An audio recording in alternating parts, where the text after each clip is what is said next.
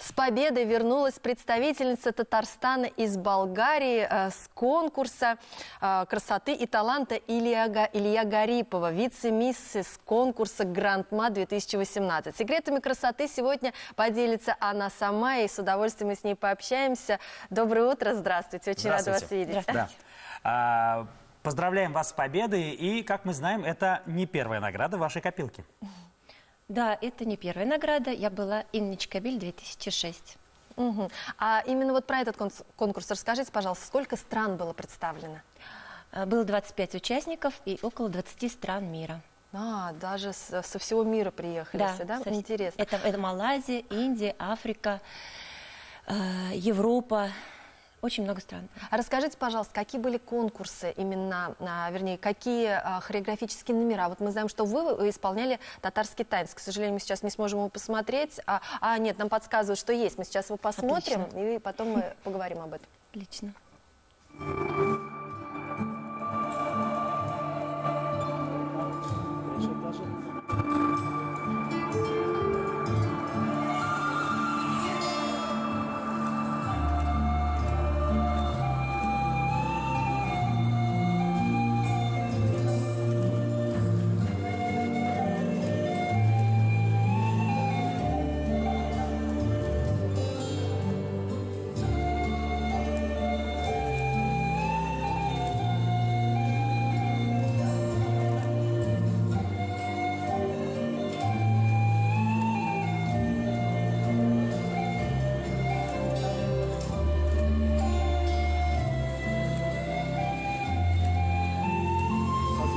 Да тъмно.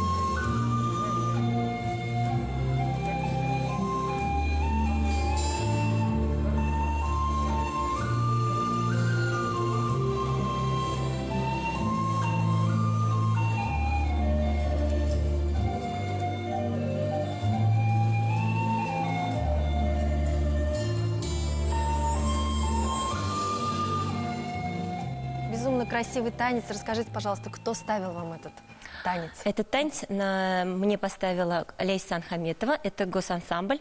Я хочу выразить ей огромную благодарность. И хочу выразить благодарность э, директору госансамбля Жукову, который предоставил мне вот эти прекрасные красивые костюмы. И я достойно представила Татарстан. Это было удивительно. Да, браво. А подскажите, кто ездил с вами в Болгарию, кто вас поддерживал? Помимо супруга. Помимо супруга со мной ездили два моих ребенка. У меня их трое. А, Средняя – это дочка, и вот младший сын 4 года. Они участвовали, кстати, тоже в танце, они выходят в конце. М, То есть у вас такой а, Семейный, Семейный танец. танец. Это семейный традиционный танец э, о, о о зарождении семьи. Мы его первый раз танцевали с супругом на своей свадьбе. А второй раз мы его станцевали на никахе своего старшего сына. И вот третий раз мы уже выставили его на обозрение всему миру. Да. Я понимаю, конечно, а, следующий вопрос, наверное, больше был- должен был быть адресован вашему супругу, но я все равно спрошу вас. Как ваш супруг чувствует себя рядом с такой красивой, талантливой женщиной? Не ревнует? Нет, у нас уже прошел такой этап, у нас все хорошо. Он чувствует себя, я думаю, великолепно. Ну, тем более, если он всегда рядом с вами, поддерживает вас во всех ваш- ваших начинаниях, конечно. мне кажется, это просто прекрасно. Да. Но мы еще, еще откроем небольшую тайну для наших зрителей. Вы не только безумно красивая и талантливая женщина, вы и мама, вы еще и бабушка. Да, у меня э, есть внучка от старшего сына. Замечательно. А сколько ей? Ей годик.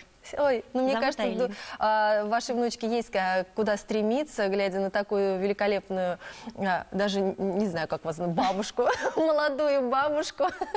Ну, расскажите, какие у вас дальнейшие планы и, может быть, конкурсы какие-то, стремитесь вы куда?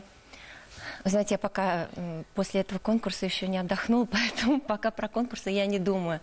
А, ну, поскольку были какие-то цели поставлены до конкурса, мне их надо сначала осуществить. Э, Я занимаюсь благотворительным фондом, он называется «Жизнь без инсульта».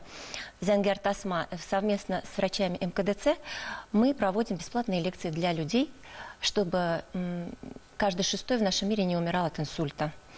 Мы проводим это все бесплатно.